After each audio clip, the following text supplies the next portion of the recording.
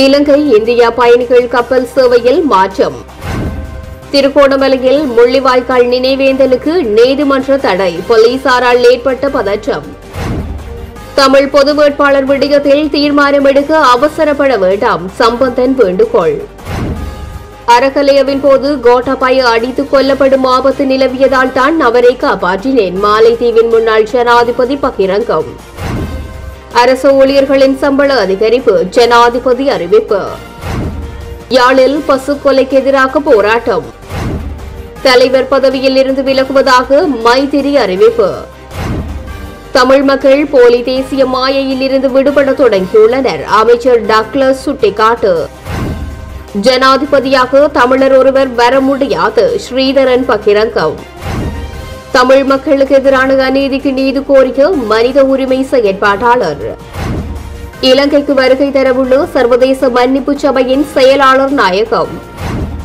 ராஜபக்சர்களுக்காக பாராளுமன்றத்தை கலைப்பதா நாட்டுக்காக கடன் மறுசீரமைப்பை நிறைவு செய்வதா ஜனாதிபதி தீர்மானிக்க வேண்டும். சம்பிக்க ரணவக்க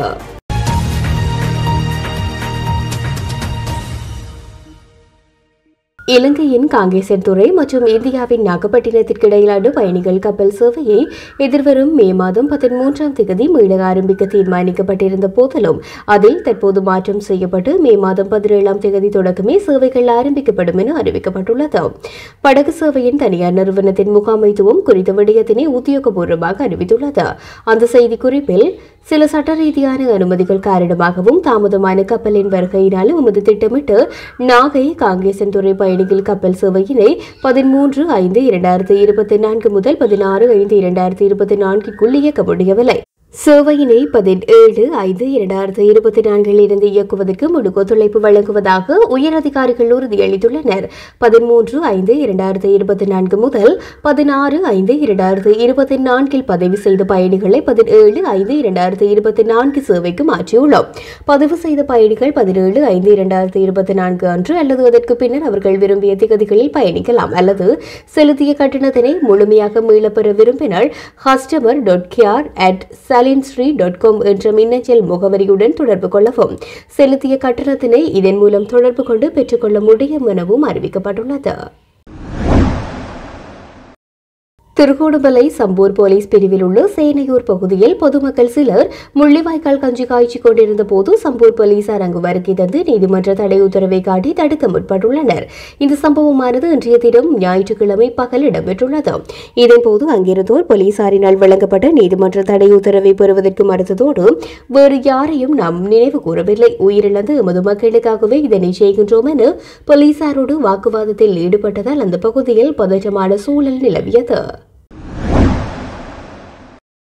ஜனாதிபதி தேர்தலில் தமிழ் பொது வேட்பாளர் ஒருவரை நிறுத்தும் விடயத்தில் தீர்மானம் எடுப்பதற்கு அவசரப்பட வேண்டாம் என இலங்கை தமிழரசு கட்சி உட்பட அனைத்து தரப்பிடமும் சிரேஷ்ட தலைவரும் திருகோணமலை மாவட்ட பாராளுமன்ற உறுப்பினருமான சம்பந்தன் வேண்டுகோள் விடுத்துள்ளார். இது தொடர்பில் அவர் மேலும் தெரிவிக்கையில் நாட்டின் நீண்ட வரலாற்றை பார்க்கின்ற போது பெரும்பான்மை இனத்தை சேர்ந்த ஒருவரை ஜனாதிபதியாக வர முடியும் என்ற நிலைமைகள் உள்ளன. இந்த நிலைமையில் தென்னிலங்கையின் தேசிய கட்சிகள் தற்போது வரையில் உத்தியோகபூர்வமாக தங்களது ஜனாதிபதி வேட்பாளர் பற்றிய அறிவிப்புகளை செய்யவில்லை. அக்கட்சிகள் அவ்விதமான அறிவிப்புகளை செய்வதற்கு முன்னதாக நாம் எமது நிலைப்பாட்டை முன்வைத்து வீணான குழப்பங்களை ஏற்படுத்த வேண்டிய அவசியமில்லை. தென்னிலங்கை தலைவர்களில் யார் வேட்பாளர்? அவர்களின் தமிழ் மக்கள் தொடர்பான நிலைப்பாடு என்ன? அவர்களுடைய தேர்தல் விஞ்ஞாபனம் என்ன? உள்ளிட்ட விடயங்கள் தொடர்பில் ஆழமான கவனத்தை செலுத்த வேண்டியுள்ளது. அந்த வகையில் நாம் அனைத்து சூழல்களையும் ஆழமாக எமது கருமங்களை முன்னெடுக்க வேண்டும். அவசரப்பட்டு எந்த விதமான முடிவுகளையும் எடுக்க வேண்டிய அவசியம் இல்லை எனவும் தெரிவித்துள்ளார். அறகலையவின் போது முன்னாள் ஜனாதிபதி கோட்டபய ராஜபக்ஷ தாக்கப்பட்டு கொலை செய்யப்படும் ஆபத்து நிலவியதனாலேயே அவர் இலங்கையிலிருந்து வெளியேற உதவினேன் என மாலைதீவின் முன்னாள் ஜனாதிபதி முகமது நசீத் தெரிவித்துள்ளார். பேட்டியொன்றில் அவர் இதனை தெரிவித்துள்ளார். நீண்ட காலமாக பாதுகாக்கப்பட்டு இலங்கையின் ஜனநாயகம் குறித்த பெருமைக்கு ஆபத்தை ஏற்படுத்தும் விதத்தில் அறக்கலையவின் போது இலங்கை ஜனாதிபதி ஒருவர் அடித்துக் கொல்லப்படுவதை தடுப்பதற்காக இரண்டாயிரத்தி இருபத்தி இரண்டு ஜூலை மாதம் பனிரெண்டாம் தேதி அவர் தப்பியோடுவதற்கு உதவியதாக மாலைதீவின் முன்னாள் ஜனாதிபதி தெரிவித்துள்ளார். வேறு பல நாடுகளைப் போல இலங்கை ஒருபோதும் சதிப்புரட்சியை எதிர்கொண்டது இல்லை. உள்நாட்டு யுத்தத்தின் போது கூட இலங்கை தேர்தல்களை தவறவிட்டதில்லை நான் எனது ஜனாதிபதி காலத்தில் எதிர்கொண்டது போன்ற நிலைமை இலங்கையில் காணப்பட்டது. கொழும்பில் அதனை எதிர்கொள்வதை நான் விரும்பவில்லை. இதேவேளை இரண்டாயிரத்து ஒன்பது யுத்தத்தை முடிவிற்கு கொண்டு வருவதற்கு பயன்படுத்தப்பட்ட துப்பாக்கிகளும் துப்பாக்கி குண்டுகளும் இன்றும் இருப்பதாகவும் அவர் தெரிவித்துள்ளார். இரண்டாயிரத்து இருபத்தி ஐந்தாம் ஆண்டில் நாட்டின் பொருளாதார வளர்ச்சியை மூன்று சதவீதமாக அதிகரிப்பதற்கு எதிர்பார்த்துள்ளதாக ஜனாதிபதி ரணில் விக்ரமசிங்கே தெரிவித்துள்ளார். சர்வதேச தாதியர் தின நிகழ்வு ஜனாதிபதி தலைமையில் இடம்பெற்றது. இந்த நிகழ்வில் கலந்து கொண்டு உரையாற்றும் போது ஜனாதிபதி இதனை குறிப்பிட்டுள்ளார். இதேவேளை பொருளாதார வளர்ச்சி வேகத்துடன் அரசு ஊழியர்களின் சம்பளத்தை அதிகரிப்பதற்கு நடவடிக்கை எடுக்கப்படும் எனவும் ஜனாதிபதி மேலும் தெரிவித்தார் நல்லையாதீனத்திற்கு முன் பசுக்கொலைக்கு எதிராக கவனஈர்ப்பு போராட்டம் ஒன்று இன்றைய தினம் காலை இலங்கை சிவசேனை தலைவர் மரவன் புலவு சச்சிதானந்தன் தலைமையில் நடைபெற்றது. காசாவுக்கு ஒரு நீதி இந்துக்களுக்கு இன்னும் ஒரு நீதியா? நிறைவேற்று நிறைவேற்று. பசுவதை சட்டத்தை நிறைவேற்று. இலங்கை சிவபூமி முகமதியரே புனித சின்னத்தை சிதைக்காதீர் போலீசாரே பசு திருடர்களை கைது செய். அறுக்காதே அறுக்காதே. கோமாதாவை அறுக்காதே. கோமாதாவை வெட்டி இந்து சமய தலைவர்களின் மனதில் ஈட்டி பாய்ச்சாதே என்ற பதாதை பதாதைகள் ஏந்திய வண்ணம் கோஷங்களிட்டு தமது எதிர்ப்பு போராட்டத்தினை முன்னெடுத்தனர். இக்கவனஈர்ப்பு போராட்டத்தில் தமது ஆதரவினை வழங்கு சிவபூமி அறக்கட்டளை தலைவரும் தெல்லிப்பள்ளி துர்கா தேவஸ்தான தலைவருமாகிய கலாநிதியாறு திருமுருகன் யாழ்ப்பாணம் மத்தியஸ்தான நாகவிகாரை விகாராதிபதி விமலரத்ன தேரர் இந்து சமய பேரவையின் தலைவர் சக்தி குழிவன் மற்றும் இலங்கை சிவசேனை சிவ தொண்டர்கள் பலரும் கலந்து கொண்டு தங்களுடைய ஆதரவினை வழங்கியிருந்தார்கள். ஐயாயிரம் ஆறாயிரம் ஆண்டுகள் பழமையான மரபுகள் கொண்ட பூமி. இந்த மண்ணிலே நாங்கள் பசுக்களை தெய்வமாக வழிபடுகிறோம். சவுதி அரேபியாவிலே நான் பன்றி கடை வைக்க முடியுமா? பன்றி பன்றி இறைச்சி கடை வைக்க முடியுமா? நான் உங்களை கேட்குறேன் சவுதி அரேபியாவிலே நான் பன்றி இறைச்சி கடை வைக்க முடியுமா? நான் வைத்தால் என்ன ஆகும்? என் தலையை கொய்து விடுவார். எதப்படி நாங்கள் தெய்வமாக மதிக்கின்ற பசுக்களை நீங்கள் இங்கே வந்து கொலை செய்யலாம்? நானூறு ஆண்டுகளுக்கு முன்பு நடக்காத நிகழ்ச்சிகள். போர்த்துக்கேயர் வந்த பின்புதான் இந்த கொடுமை இங்கே தொடங்கியது. புத்தர்கள் ஒருபொழுதும் பசுவை கொல்வதில்லை. மத்துகம பிரதேச செயலகத்திலே சபையிலே தீர்மானம் இயற்றி அந்த பிரதேசத்திலே மாற்றுச்சி ஒழித்திருக்கிறார்கள். தென்னிலங்கையிலே பத்து பதினைந்து பிரதேச சபைகளிலே மாற்றச்சி கடைகள் வைக்கக்கூடாது தீர்மானம் இயற்றி நடைமுறைப்படுத்தி வருகிறார்கள். அவர்களும் சைவத்தை மதிக்கிறார்கள். புத்தர்களும் சைவத்தை மதிக்கிறார்கள். சிவபூமி என்றதை ஏற்றுக்கொள்கிறார்கள். ஏன் இந்த இந்த மண்ணிலே சிவபூமியிலே சிவன் சிவபெருமானுக்குரிய பூமியிலே நீங்கள் இங்கே வந்து மாற்றச்சி கடை வைக்கிறீர்கள்? நாங்கள் சவுதி அரேபியாவிலே போய் பன்றச்சி கடை பன்றி இறைச்சி கடையை வைக்க நீங்கள் அனுமதி தந்தால் நீங்கள் இங்கே மாற்றச்சி கடையை வைக்கலாம். இல்லைன்றால் இங்கே இருந்து போய் நீங்கள் மாற்றச்சி கடையை எங்கே வைக்க முடியுமோ அங்கே வையுங்கள். இங்கே வைக்காதீர்கள்.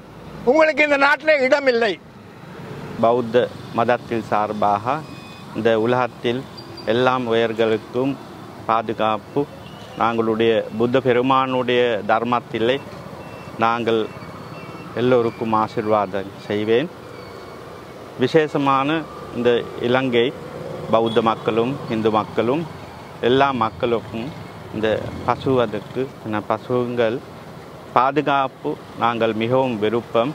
நாங்களுடைய பௌத்த தர்மத்திலே நான் எல்லாம் உலக உயர் பாதுகாப்பு மாதிரி தான் புத்த பெருமானுடைய தர்மத்தில் இருக்கிறது.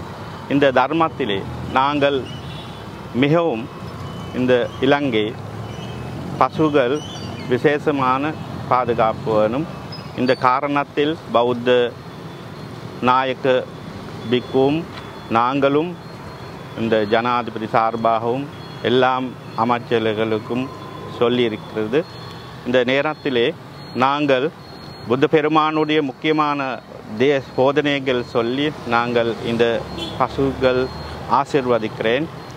எல்லாம் பாவங்களை இறைந்த விலகு நல்ல காரியங்களை நடத்து மனதை ஒருநிலைப்படுத்தி. இது தான் புத்த பெருமானுடைய தர்மம் உபதேசம்.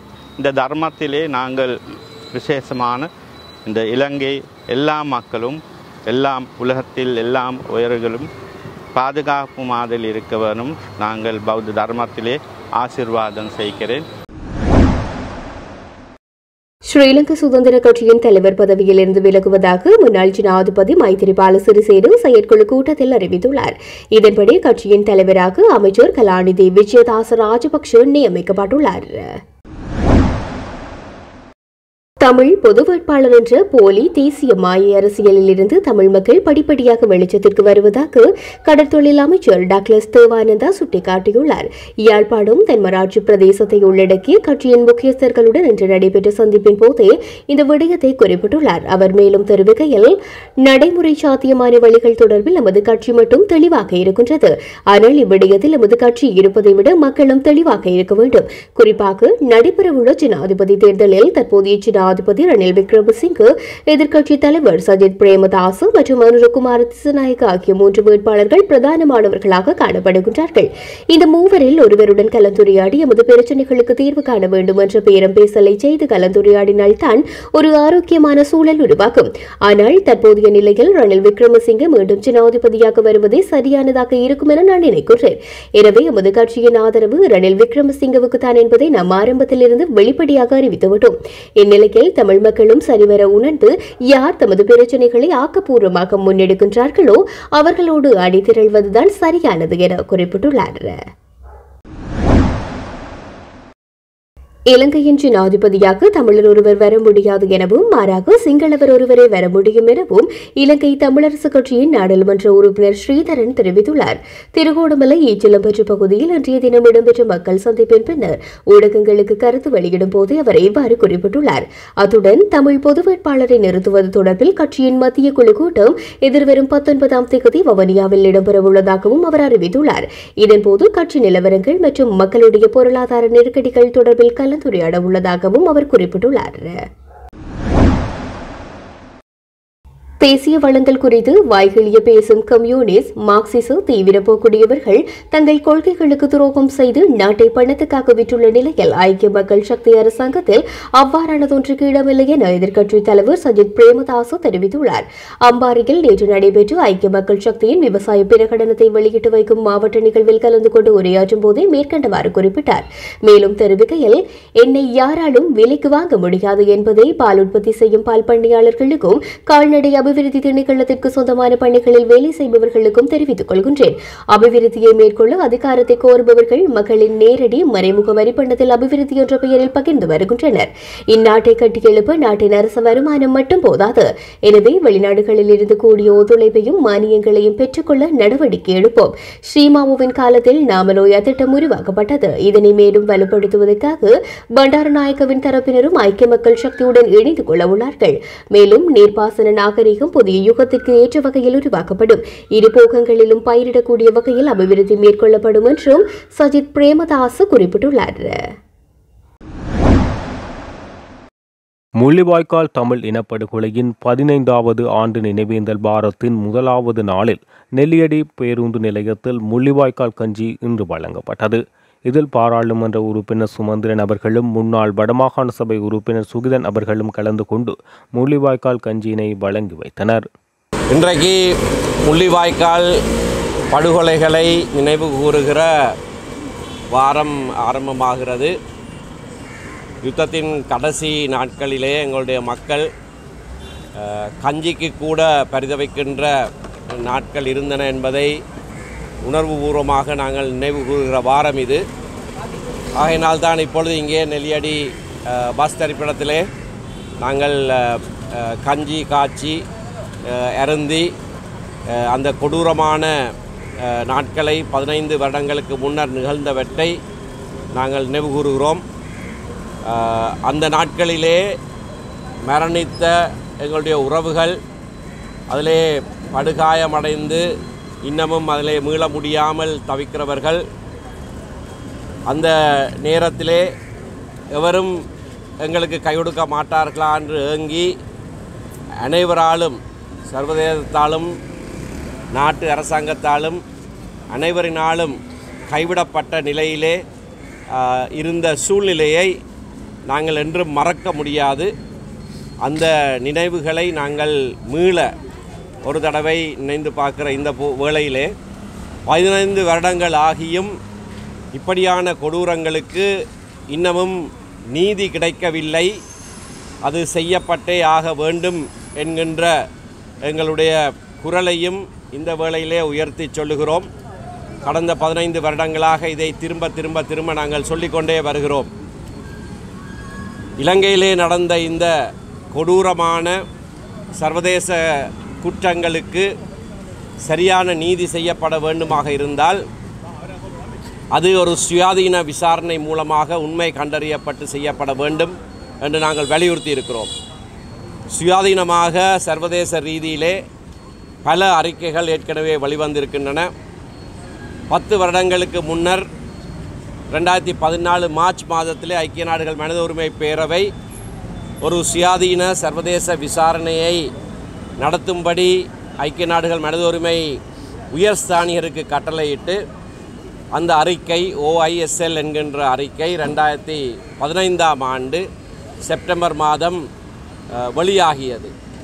இருநூறு பக்கங்களுக்கு மேற்பட்ட அந்த முழுமையான சர்வதேச விசாரணை அறிக்கை அனைவரும் பார்க்கக்கூடியதாக இருக்கிறது. தமிழிலேயும் மொழிபெயர்ப்புகள் இருக்கின்றன. இங்கு நடந்த பல மீறல்களை சர்வதேச குற்றங்களை நிரல்படுத்தி சொல்லியிருக்கிறார்கள். உலகத்திலே மிக உயர்ந்த ஸ்தானங்களிலே பதவி வகித்தவர்கள் Martti Ahtisaari Silvia Cartwright Asma Jahangir போன்றவர்கள் மேற்பார்வை செய்து வெளியிடப்பட்ட அறிக்கை அது. அந்த அறிக்கையிலே எவ்விதமான குறைபாடும் கிடையாது. அது முழுமையான ஒரு சர்வதேச அறிக்கை. இப்படியாக அதனை அந்த அறிக்கையை நாங்கள் மேற்கோள் காட்டி சொல்லுகிற போது சிலருக்கு அது புரிவதில்லையோ தெரியவில்லை அல்லது புரிந்தாலும் வேண்டுமென்றே அதை மழுங்கடித்து தங்களுடைய நிகழ்ச்சி நிரலுக்கேற்ப சர்வதேச விசாரணை முடிந்து விட்டதாம் என்று சுமந்திரன் சொல்கிறார். இன்றைக்கும் பத்திரிகையிலே அப்படியான ஒரு தலையங்கம் போட்டு கொடுக்கப்பட்டிருக்கிறது. இந்த பத்திரிகை ஆசிரியர் திரும்பவும் பாடசாலைக்கு செல்ல வேண்டும். அல்லது அவருக்கு சரியான பாடம் புகட்ட வேண்டும். சர்வதேச விசாரணை ஓஎஸ்எல் விசாரணை முழுமையாக நடந்து முடிந்திருக்கிறது. அறிக்கை எங்கள் எல்லாருடைய கையிலையும் இருக்கிறது. விசாரணைக்கும் நீதி பொறிமுறைக்கும் அல்லது ஒரு நீதிமன்ற பொறிமுறைக்கும் வித்தியாசம் தெரியாதவர்களாலே வேண்டுமென்று சொல்லப்படுகிற செய்தி இது. இந்த உணர்வுபூர்வமான வாரத்திலே இந்த அநியாயங்களை நாங்கள் நினைத்து ஒன்றாக சேர்ந்து அதனை அனுஷ்டிக்க வேண்டிய இந்த காலகட்டத்திலே இப்படி குதர்க்கமான செய்திகளை வெளியிட்டு தங்களுடைய அரசியல் நிகழ்ச்சிகளை நிறைவேற்றுவதற்கு பல அரசியல்வாதி முதலாளிகள் முனைகிறார்கள். இது வருந்தத்தக்க ஒரு விடயம். நீதிமன்ற பொறிமுறை ஒன்று ஏற்படுத்தப்பட வேண்டும். அந்த அறிக்கையிலே இருந்து எழுகிற விடயங்கள் சம்பந்தமாக வழக்குகள் தாக்கல் செய்யப்பட வேண்டும். அதற்கான பொறிமுறை ஒன்று ஏற்படுத்தப்பட வேண்டும் என்று அந்த அறிக்கை வெளியாகி பதினைந்து நாட்களுக்குள்ளேயே ஐக்கிய நாடுகள் மனித உரிமை பேரவையிலே ரெண்டாயிரத்தி பதினைந்து அக்டோபர் முதலாம் திகதி முப்பது ஒன்று என்கின்ற தீர்மானம் நிறைவேற்றப்பட்டது. நாங்கள் ஒரு அரசியல் கட்சியாக அதனை வரவேற்றோம். ஆனால் இலங்கை அரசாங்கம் அந்த நீதிமன்ற பொறிமுறையை செய்வதாக வாக்குறுதி கொடுத்துவிட்டு அதிலிருந்து பின்வாங்கி இருக்கிறார்கள் அந்த இணை அனுசரணையை தாங்கள் மீளப்பெறுவதாக இரண்டு மூன்று வருடங்களிலே சொன்னார்கள். அது சர்வதேசம் ஒருபோதும் ஏற்றுக்கொள்ளாது. ஒரு இணை அனுசரணை செய்து ஒரு தீர்மானம் நிறைவேற்றப்பட்டால் மூன்று நான்கு வருடங்களுக்கு பிறகு நாங்கள் அதில் இருந்து மீள அதை மீளப்பெறுகிறோம் என்று சொல்லுவதை எவரும் ஏற்றுக்கொள்ள முடியாது. ஆகையால் தான் இந்த அறிக்கைகளின் அடிப்படையிலே நடந்து முடிந்த சர்வதேச விசாரணை அறிக்கைகளின் அடிப்படையிலே குற்றவாளிகள் நீதிமன்றத்தின் முன்பாக நிறுத்தப்பட வேண்டும் அவர்களுக்கு உரிய தண்டனை வழங்கப்பட வேண்டும் பாதிக்கப்பட்டவர்களுக்கு சரியான நீதி செய்யப்பட வேண்டும் என்கின்ற எங்களுடைய கோரிக்கை திரும்பவும் வலுப்பெறுகிறது. பதினைந்து வருடங்கள் என்ன எத்தனை வருடங்கள் ஆனாலும் அந்த நீதி நிலைநாட்டப்படுகிற வரைக்கும் எங்களுடைய போராட்டம் தொடரும். இன்றையில இருந்து பதினெட்டாம் தேதி வரையான காலப்பகுதியிலே எங்கள் மக்களுக்கு இழைக்கப்பட்ட இந்த பலவிதமான கொடூரங்களை நாங்கள் முழுமையாக நினைவு கூர்ந்து உலகத்துக்கும் நினைவூட்டுவோம்.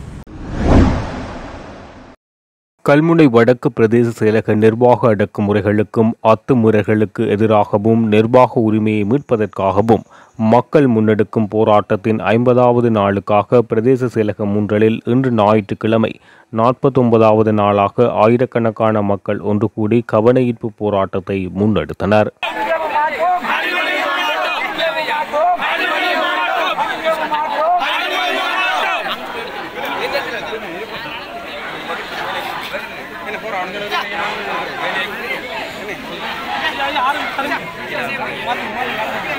மாட்டோம் அஞ்சவும் மாட்டோம் வேண்டாம் வேண்டாம் வேண்டாம்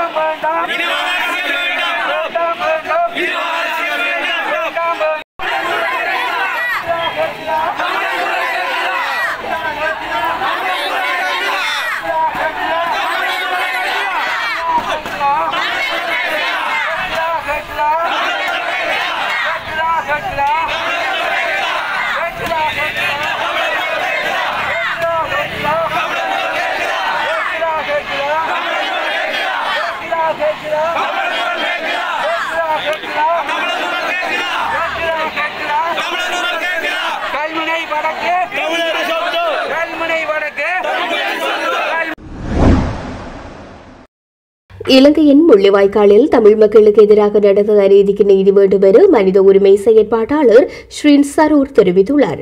மட்டக்களப்பில் நேற்றைய தினம் இடம்பெற்ற நீதிக்கான நடைபயணத்தை தொடர்ந்து ஊடகங்களுக்கு கருத்து தெரிவிக்கும் போது அவர் மேற்கண்டவாறு கூறியுள்ளார். இன்று காசாவில் என்ன நடக்கின்றதோ அவ்வாறு இரண்டாயிரத்தி ஒன்பதாம் ஆண்டு இலங்கையின் முள்ளிவாய்க்காலில் நடைபெற்றது. அப்போது பாரிய அளவில் மக்கள் அழிந்த போதும் யுத்த குற்றங்கள் இடம்பெற்ற போதும் ஒருபோதும் மக்களுக்கு நியாயம் கிடைக்கவில்லை. காசாவிலும் இதுதான் நடக்கின்றது என அவர் கூறியுள்ளார். It. இலங்கையில் இடம்பெற்ற யுத்தம் முடிவுக்கு கொண்டுவரப்பட்டு பதினைந்து வருடங்கள் கடந்திருக்கும் நிலையில் சர்வதேச மன்னிப்பு சபையின் செயலாளர் நாயகம் அக்னஸ் கலமாட் இவ்வாறு நாட்டிற்கு வருகை தரவுள்ளார். இதேவேளை எதிர்வரும் பதினெட்டாம் தேதி இடம்பெறவுள்ள முள்ளிவாய்க்கால் நினைவேந்தல் நிகழ்விலும் கலந்து கொள்ள உள்ளதாக தெரிவிக்கப்படுகின்றது. யுத்தத்தின் போது இலங்கையில் இடம்பெற்றதாக கூறப்படும் போர்க்குற்றங்கள் மனித உரிமை மீறல்கள் மற்றும் மனித குலத்துக்கு எதிரான வன்முறைகள் என்பன தொடர்பில் உண்மை நீதி மற்றும் பொறுப்பு கூறல் என்பன உறுதிப்படுத்தப்பட வேண்டும் என சர்வதேச மன்னிப்பு சபை தொடர்ச்சியாக வலியுறுத்தி வருவதுடன் சர்வதேச அரங்கில் இலங்கை மீதான அழுத்தங்களையும் பிரயோகித்து வருகின்றது. அந்த வகையில் யுத்த முடிவின் பதினைந்து வருட பூர்த்தியையொட்டி லண்டனை தளமாக கொண்டு இயங்கி வரும் சர்வதேச மன்னிப்பு சபையின் செயலாளர் நாயகம் அக்னஸ் கல்மாட் எதிர்வரும் வியாழக்கிழமை இலங்கைக்கு வருகை தரவுள்ளார். அன்றைய தினம் சர்வதேச மன்னிப்பு சபையில் கொழும்பு அலுவலக செயற்பாட்டாளர்களை சந்தித்து பேசவிருக்கும் அவர் வெள்ளிக்கிழமை முள்ளிவாய்க்காலுக்கு விஜயம் மேற்கொள்ளவுள்ளார். அங்கு சில முக்கிய ரகசிய சந்திப்புகளை நடாத்துவதற்கு உத்தேசித்திருப்பதுடன் யுத்தத்தில் உயிரிழந்தவர்களை நினைவுகூரும் வகையில் சனிக்கிழமை நடைபெறவுள்ள முள்ளிவாய்க்கால் நினைவேந்தல் நிகழ்விலும் பங்கேற்க உள்ளார். அதனைத் தொடர்ந்து எதிர்வரும் இருபதாம் திகதி கொழும்பில் ஊடகவியலாளர்களை சந்திக்க உள்ளதுடன் நாட்டின் சமகால மனித உரிமைகள் நிலவரம் தொடர்பான தனது அவதானிப்புகளை பகிர்ந்து கொள்ளவுள்ளார் அதேவேளை அக்னஸ் கலமாட் அதிபர் ரணில் விக்ரமசிங்கவை சந்திப்பதற்கு நேரம் வழங்குமாறு மன்னிப்பு சபையின் கொழும்பு அலுவலகம் ஓரிரு மாதங்களுக்கு முன்னரே அதிபர் செயலகத்திடம் கோரியிருக்கின்ற போதிலும் அதற்கு இன்னமும் உரிய பதில் வழங்கப்படவில்லை என்பது குறிப்பிடத்தக்கது. ராஜபக்சர்களுக்காக பாராளுமன்றத்தை கலைப்பதா அல்லது நாட்டுக்காக கடன் மறுசீரமைப்பை நிறைவு செய்து பொருளாதாரத்தை ஸ்திரப்படுத்துவதா என்பதை ஜனாதிபதி தீர்மானிக்க வேண்டும். நாட்டில் மீண்டும் ஒரு அரசியல் நெருக்கடியை ஜனாதிபதி ரணில் விக்ரமசிங்க தோற்றுவிக்க மாட்டார் என்ற நம்பிக்கை உள்ளது என ஐக்கிய குடியரசு முன்னணியின் தலைவரும் பாராளுமன்ற உறுப்பினருமான பாட்டாளி சம்பிக்க ரணவுக்கு தெரிவித்தார். மகரகம பகுதியில் நேற்றைய தினம் சனிக்கிழமை மாலை இடம்பெற்ற நிகழ்வில் கலந்து கொண்டதன் பின்னர் ஊடகங்களுக்கு கருத்து தெரிவிக்கையில் மேற்கண்டவாறு குறிப்பிட்டார். என்றார் ஜனாதிபதி ரணில் விக்ரமசிங்கவுக்கும் பொதுஜன பெரமுனவின் ஸ்தாபகர் ஃபசில் ராஜபக்சவுக்கும் இடையில் தொடர்ச்சியாக இடம்பெற்ற பேச்சுவார்த்தைகள் இணக்கப்பாடற்ற வகையில் நிறைவடைந்துள்ளன. ஜனாதிபதி தேர்தலுக்கு முன்னர் பாராளுமன்ற தேர்தலை நடத்துமாறு ஃபசில் ராஜபக்ஷ ஜனாதிபதியிடம் தொடர்ந்து வலியுறுத்தி வருகின்றார். ஜனாதிபதி தேர்தலில் களமிறக்குவதற்கு தம்மிடம் வேட்பாளர் இல்லை என்பதையும் அவ்வாறு களமிறக்கினால் படுதோல்வியடைய நேரிடும் என்பதை ராஜபக்சர்கள் நன்கு அறிவார்கள். அதனால்தான் இவர்கள் ஜனாதிபதி தேர்தலுக்கு முன்னர் பாராளுமன்ற தேர்தலை கோருகின்றார்கள். பாராளுமன்றத்தின் தற்போதைய பலத்தை கொண்டு பாராளுமன்ற தேர்தலில் பொதுஜன பெரமுன தலைமையிலான அரசாங்கத்தை அமைக்க ராஜபக்சர்கள் முயற்சிக்கின்றார்கள். ராஜபக்சர்களுக்காக பாராளுமன்றத்தை கலைப்பதா அல்லது கடன் மறுசீரமைப்பை நிறைவு செய்து பொருளாதாரத்தை ஸ்திரப்படுத்துவதா என்பதை ஜனாதிபதி ரணில் விக்ரமசிங்க தீர்மானிக்க வேண்டும். பொருளாதார நெருக்கடிக்கு தீர்வு காண்பது தனது பிரதான இலக்கு என்று ஜனாதிபதி நாட்டு மக்களுக்கு வாக்குறுதி வழங்கியுள்ளார். வெளிநாட்டு அரசு முறை கடன் மறுசீரமைப்பு எதிர்வரும் ஜூலை மாதம் நிறைவு பெறும் என்று அரசாங்கம் குறிப்பிடுகின்றது. இவ்வாறான நிலையில் பாராளுமன்றத்தை கலைத்தால் நாட்டில் ஸ்திரமற்ற அரசியல் நிலைமை தோற்றப்பெறும். அது கடன் மறுசீரமைப்புக்கு தாக்கம் செலுத்தும் என்பதை ஜனாதிபதி நன்கறிவார். அரசியல் அமைப்பின் பிரகாரம் ஜனாதிபதி தேர்தல் எதிர்வரும் செப்டம்பர் அல்லது அக்டோபர் மாதம் அளவில் இடம்பெறவுள்ள நிலையில் அதற்கு முன்னர் பாராளுமன்றத்தை கலைத்து பொது தேர்தலை நடத்தினால் முரண்பாடான அரசாங்கமே தோற்றம் பெறும் ஜனாதிபதி ஒரு கட்சியையும் அரசாங்கம் பெரிதொரு கட்சியையும் பிரதிநிதித்துவப்படுத்தும் போது அரசியல் நெருக்கடிகள் தோற்றம் பெறும் ஆகவே நாட்டில் மீண்டும் அரசியல் நெருக்கடி தோற்றம் பெறுவதற்கு ஜனாதிபதி இடமளிக்க மாட்டார் என்ற நம்பிக்கை உள்ளது என்றார்.